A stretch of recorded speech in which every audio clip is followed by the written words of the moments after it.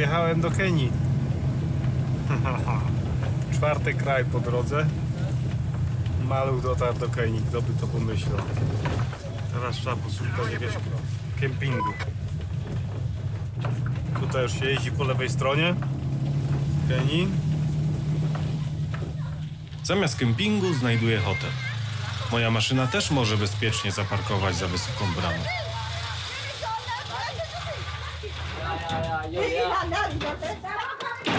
Tak wygląda pierwszy nocleg kenijski. Cały zespół się tu zmieści. Trzy łóżka. Operator jest jak zwykle z czosnkiem, także będzie ok. Tu coś wstało właśnie z tego łóżka tutaj.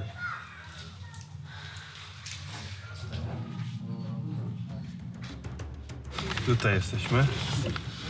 Mojale, po stronie kenijskiej. Wczoraj udało się przekroczyć granicę. I teraz, tego co słyszałem, to ten odcinek aż do Masarbit, 250 km, to jest najgorsza droga wschodniej Afryki. Ponoć jest bardzo rozmyta, pełno dziur, e, trudna do przejechania, także to będzie wielki test. Chyba najgorsza droga podczas tej całej trasy. Od początku mojej podróży czekałem na ten moment. Czas się zmierzyć z trasą z Mojale do Marsabit. Pierwsza przeszkoda tuż za miastem. Jedyną szansą dla malucha to branie jej z rozpędu.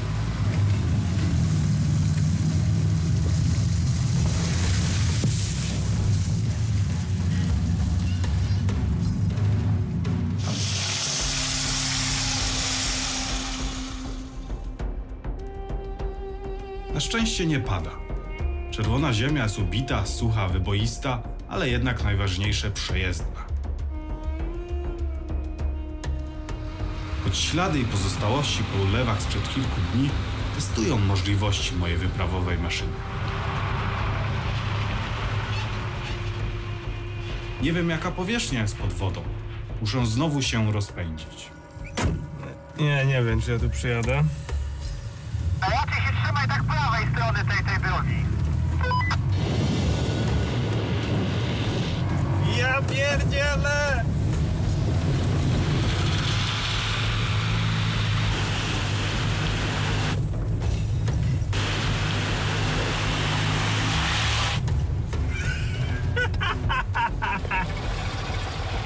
Poszedł jak burza normalnie. Ach, kochana maszyna. Branie przeszkód z rozpędu to jedyna skuteczna technika jazdy. Droga po kilkudziesięciu kilometrach staje się jednym wielkim placem budowy. Za chwilę kenijski burz będzie przecinać piękny nowy asfalt. Maluch wcześniej musi przeprawić się przez kilka kałuż. Średnia prędkość 25 km na godzinę.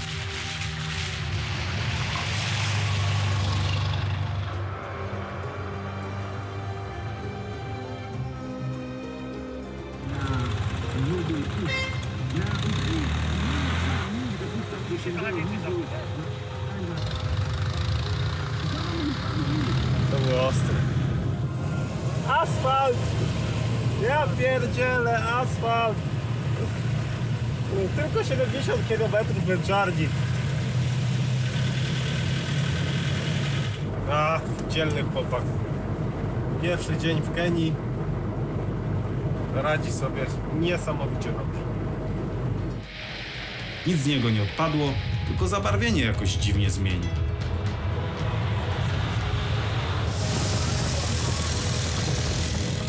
Stara droga nie daje jednak za wygraną. Jeszcze trochę wysiłku. Nie, najgorsze są kamienie. To jest najgorsze. Checkpoint kolejny. Dużo tych checkpointów tutaj mają. Faktycznie pilnują tej drogi. What do you have for us? Huh? What do you have for us? For us? Oh, I can give you something. Look. But that's for children, you know? It's a sticker. You can give it to your children or someone. You have children? Yeah. Yeah, give it to them. It's a sticker. They can Yeah. put, put it on something. Thank you. You're welcome.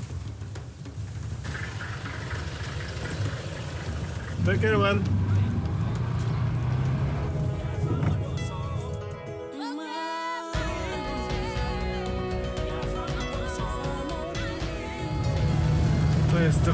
Marsabit.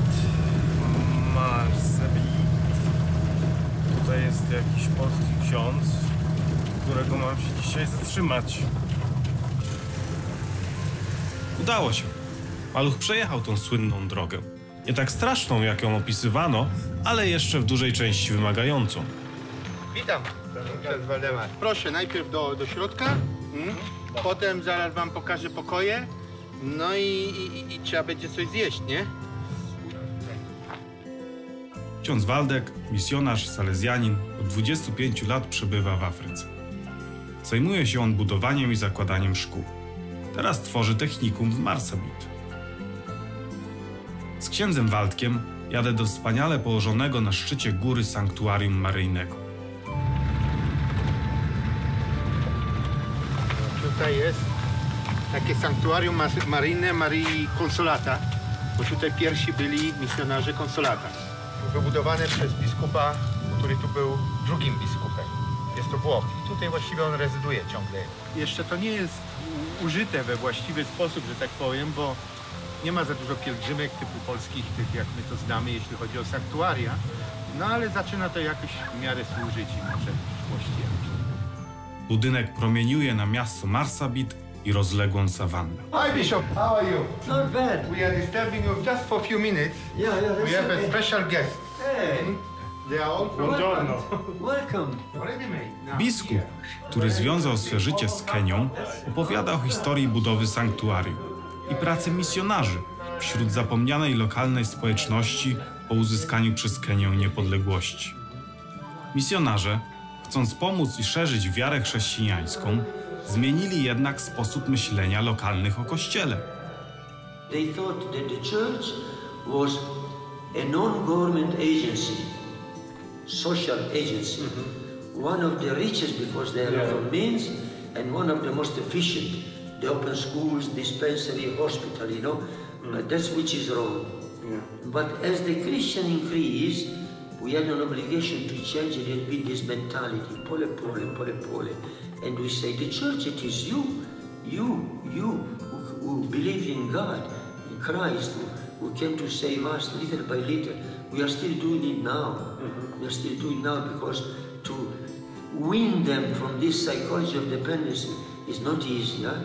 It's not easy.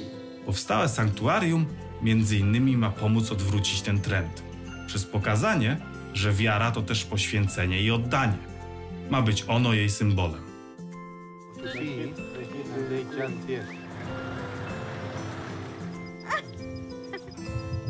your skin. Po wczorajszej e, trudnej trasie z, z Mojale mam jedną stratę w maluchu, bo jedna, jedna rzecz się stała taka, kurczę, nie wiem gdzie ja. Straciłem kierunkowskaz, właściwie obudowę kierunkowskazu i nie wiem kiedy. Jechać mamy wyjazd jeszcze raz. Tak jest. Dziękuję bardzo. Boże. Do zobaczenia.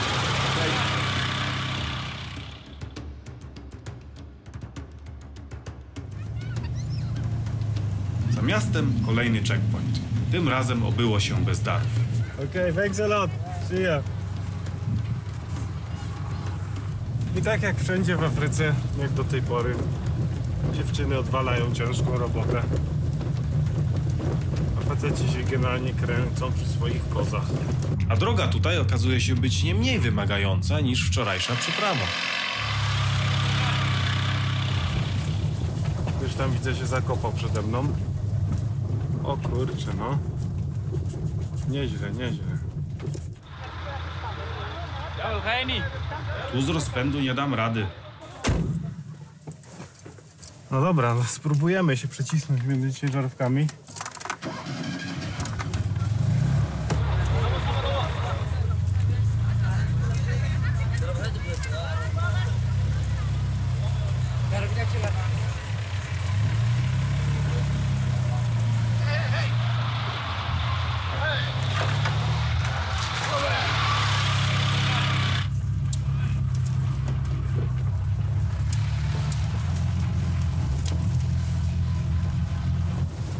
Jest maszyna bojowa dopiero. Kurczę. Dzielna zielona bestia. Wszyscy stoją, a ty jedziesz. Kto by pomyślał? Krajobraz się zmienił. Jest sucho i wszędzie piach.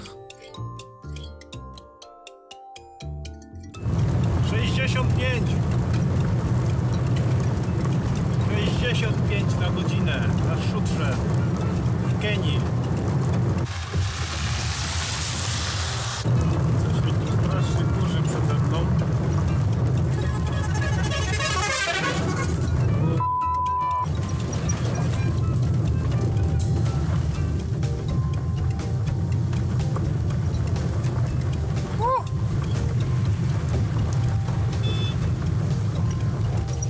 Na tej drodze jest największa tarka, jaką widziałem w Afryce.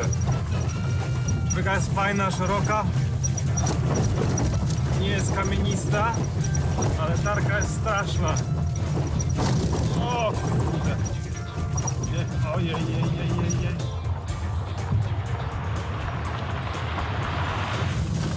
Kurczę, no wielbłądy. Wow. No idźcie, idźcie, idźcie, idźcie, idźcie. No dalej, chłopaki. Muszę odpocząć, choć na chwilę wyprostować gnaty. Hello. How are you? Hi. Mam tylko dwa banany. Here. Papa. Otacza mnie burz, porośnięty kolczastymi akacjami. Dobrze, że opony całe.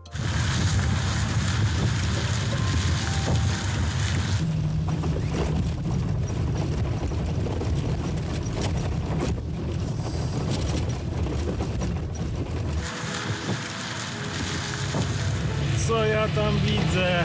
Asfalt! Asfalt!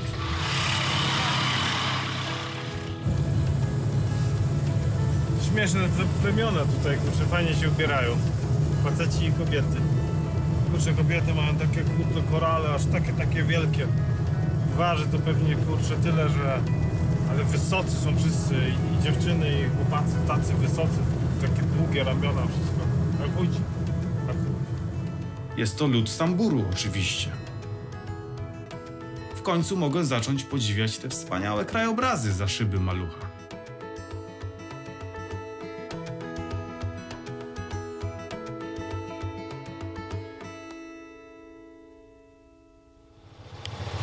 Maluch podjechał pod równik, jeszcze znajduje się na półkuli północnej.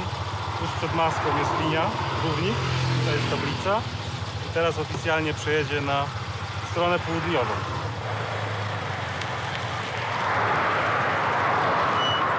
Dumny jestem z maszyny, kurczę, aż dotarła tutaj.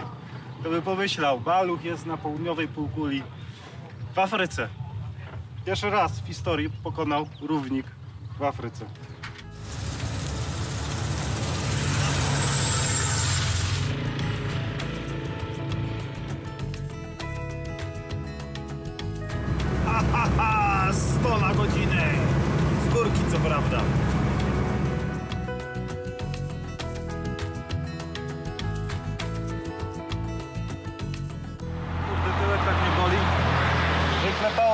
Siedzenia strasznie i tyłek mnie już tak boli. Nogi tutaj, wszystko, że muszę coś zrobić z tym siedzeniem. Nie wiem, chociaż tymczasowo coś muszę podłożyć, a jutro chyba sobie zamienię w ogóle siedzenia trawa, czy to siano, które wypełnia siedzenie, już wy- wypada po prostu, nie? Tu jest dziurka od jednego pośladka, nie?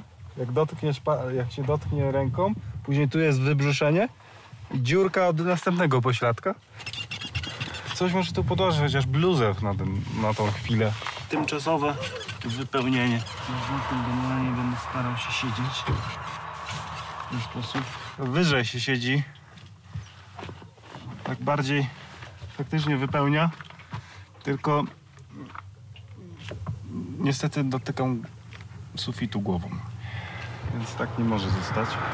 No nic, chyba tak zostanę z tym, z tą bluzą chociaż. Chociaż coś, nie? No. Tutaj ta centralna część Kenii, przez którą teraz jadę, już w kierunku Ugandy, jest znacznie bardziej rozwinięta niż północ, przez którą przejeżdżałem dwa dni wcześniej. Drogi są świetne. Ludzie są ubrani no tak w stylu zachodnim. Dużo samochodów, dużo ludzi. Miasteczka dosyć ciekawe, rozwinięte. Wszystko jest w takich miasteczkach. A północ była taka kurczę trochę zaniedbana. Nie wiem z, czego to wynika. Może po prostu przez wiele lat rząd kenijski zaniedbywał północ kraju. Choć to pewnie się zmieni, bo na północy, z tego co słyszałem, jest ropa naft- naftowa. Także oficjele kenijscy sobie przypomną o tamtych regionach.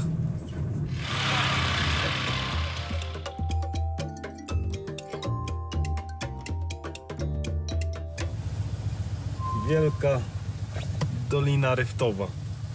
To jest fragment kenijskiej Doliny Ryftowej.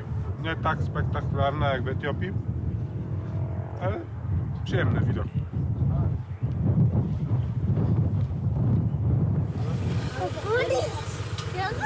Co to jest? What is it? Majamoko. Majamoko? Yes. How do you eat it? You, you cut it here and eat. You cut it in half and you eat it what, with spoon? Yes. I have one. How much is one? Twenty. 20. Okay, buy two. One from you, one from you, okay? Yes. Kupuję. So one? And from you? One. No, give me one nicer. I'll take this one, okay? That's it. I don't need any more. Okay? Thank you. to na razie, papa. Papa. Buy for me, Gugu. Okay, I buy for you as well. There you go. Thank you. Okay? To papa. Na razie, dzieciaki. Can you say papa? Papa. Papa. Papa. You buy for me sweet. Papa, papa. Wioski, miasta, krajobraz cały czas się zmienia.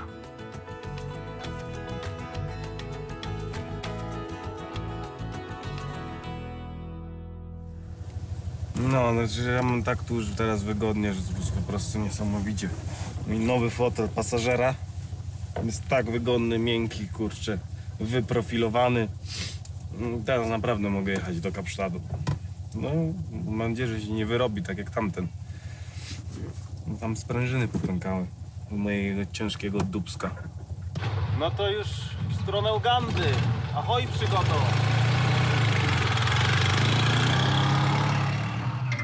W miastach, jak to w miastach, trzeba uważać, gdzie się staje. Hello. Because I tell you why.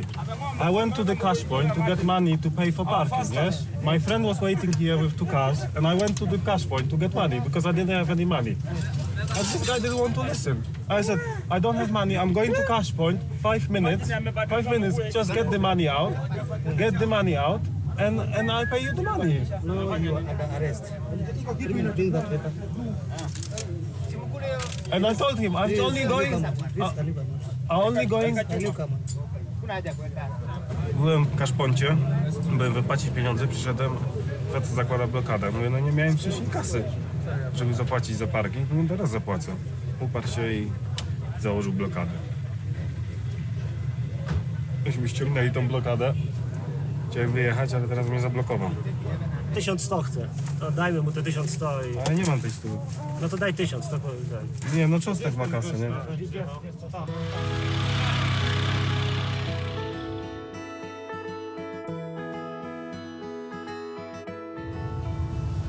Hello. Sawa sawa.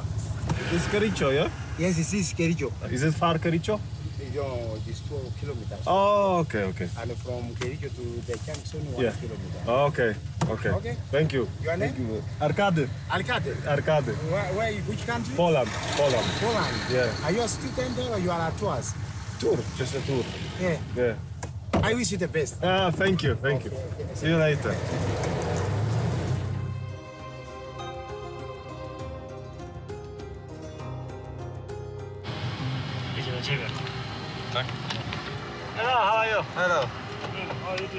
I'm good, thank you. Yeah. Hello, hi. Your speed limit is above the required limit on this road. You are doing 129 kilometers per hour instead of 80. Oh, it's, it's impossible. Yeah? This car? This car is not so fast. No, it's not possible. That camera, you know, it has already taken the speed and the, the, the picture of the vehicle, and we have to explain. Ah, Okay, okay, so we... So let us go to the base command. Okay, Okay. okay. Uh, charge. Okej, okej, okej, okej, okej. Właśnie dostałem SMS-a od Kuby, że goniąc mnie, Kericho przekroczyli prędkość i policja ich zatrzymała. Ja siedzę na posterunku i wyjaśniają sprawę. Ja mam jeszcze 5 km do Kisumu, no i tam będę czekał na nich. Trzecia godzina. No, myślę, że będziemy też nocować w Kisumu. Pierwszą wizytę w sądzie i areszcie kenijskim mam za sobą.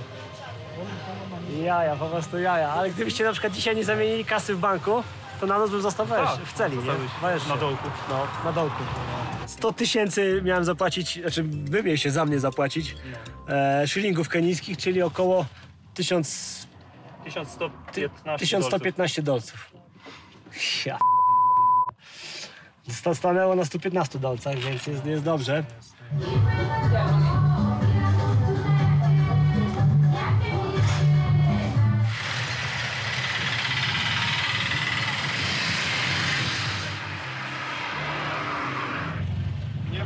To od razu, od razu broicie. Przeszliśmy cały proces e, od zatrzymania do wyroku. Policja ci zatrzyma. Jedziesz najpierw z, z policjantem. Teraz na- miał rozprawę sądową numerze. No, sprawę sądową miałem. Tele, normalnie, wszystko. Full service. 8 PM, jeszcze nie ma co prawda, Nie, ale niech żyje wolność i ale nie żyje wolność po wyjściu z aresztu kenijskiego dzisiaj obowiązkowo. Za wolność. A, ta jest. Być, jeszcze jeden. Na przyszłość.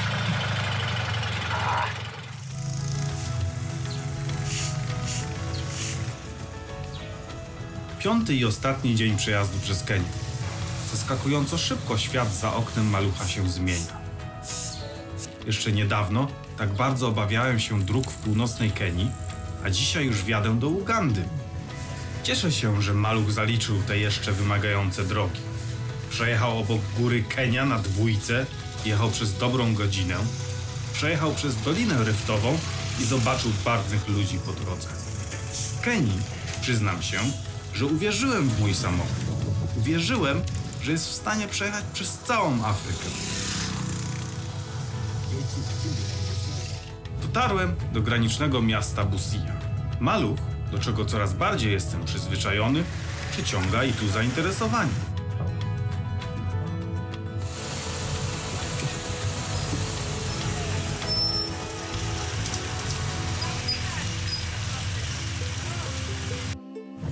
Dobra, idę teraz tam.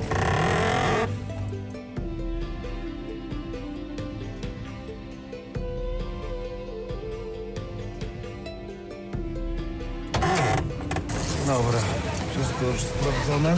Można jechać. O, 20 metrów i w Ugandzie jestem.